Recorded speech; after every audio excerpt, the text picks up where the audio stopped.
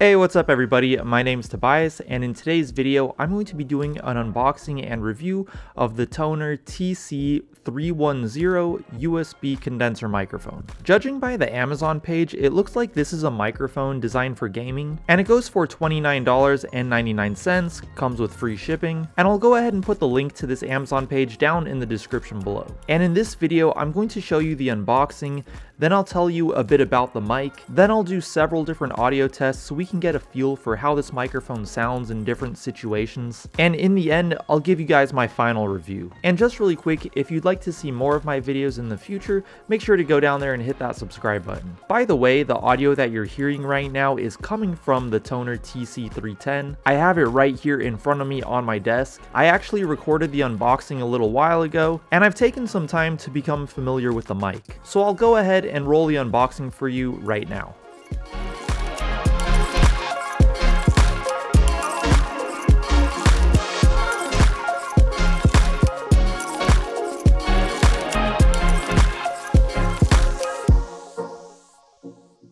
So as you can see, it's pretty straightforward. It comes with the mic, which comes with a pop filter and a shock mount and a tripod desk stand. It comes with a USB-C to USB-A cable. The USB-C side gets plugged into the back of the microphone and the USB-A side gets plugged into your computer. The top of the Tonor TC310 has a tap to mute button as well as the mic gain knob. And the bottom of the microphone is a knob that allows you to control the brightness of the RGB lights. There's also a touch button near the bottom of the microphone that allows you to change the RGB lights or even turn them off altogether. The weight of the TC310 is fairly light and the bottom feet of the tripod stand are kind of rubbery to prevent the microphone from sliding around on your desk. There's also a knob on the side of the tripod stand that allows you to adjust the angle of the microphone. I feel like the microphone sits pretty high considering that it's on a tripod desk stand, which is pretty cool because it brings the microphone closer to your mouth. You may notice that there is no headphone jack on the microphone for monitoring, so I just went ahead and I plugged my headphones into my computer, and I'm monitoring the audio through the program Logic Pro, which is also the program where I'm recording my audio to. So that covers just about all the details about this microphone. Next, I'm going to go ahead and do several different audio tests. First, I'm going to stop talking for a few seconds so we can take a listen to the noise floor. Try to listen to see if you can hear an underlying hiss noise. And right now I'm tapping on my computer's keyboard, which is right behind the TC310, and I'm talking at the same time. And right now I'm whispering into the TC310 from about one inch away. And right now I'm speaking into the Tonor TC310 from about five feet away.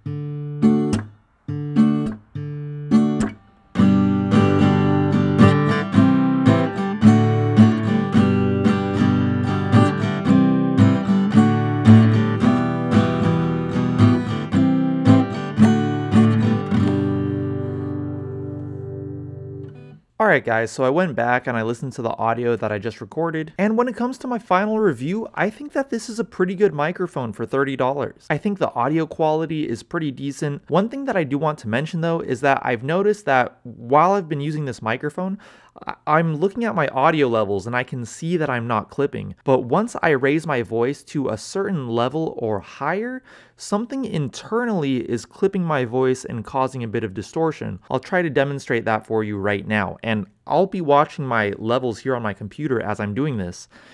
And as I'm doing this, I don't know if you guys can hear, but it sounds like my voice is kind of distorted there's some sort of I, I want to say it's almost like a compression. It's almost like this there's some sort of compression taking place inside the microphone and um my volume levels are not clipping on my computer, but the microphone itself is clipping my volume at a certain level. Um I have noticed as as long as you're you're not too loud, the The audio quality sounds pretty good in my opinion, especially for a $30 microphone. But I have noticed that when I do get louder, there is that distortion that kind of takes place. Um, so yeah, I just wanted to mention that, but I do think this is a pretty solid microphone for $30. I thought the audio quality was pretty decent. I was actually pretty impressed by how my guitar sounded. I thought that actually picked up my guitar pretty well. So in the end, I would say that, yeah, I like this microphone. I think the price reflects its quality. But as usual, I would love to know what you guys think. Let me know what you guys think about this microphone down in the comments below. And of course, I will have the Amazon page for this microphone linked down in the description below in case you'd like to check that out. And if you did like this video or if it helped you out, I'd really appreciate it if you went down there and gave this video a like. That would help me out so much. If you would like to see more of my videos in the future, make sure to hit that subscribe button and also that bell notifications button. If you'd like to follow me on Instagram, I'll go ahead and put my handle right here. And I'll talk to you guys in my next video. Peace!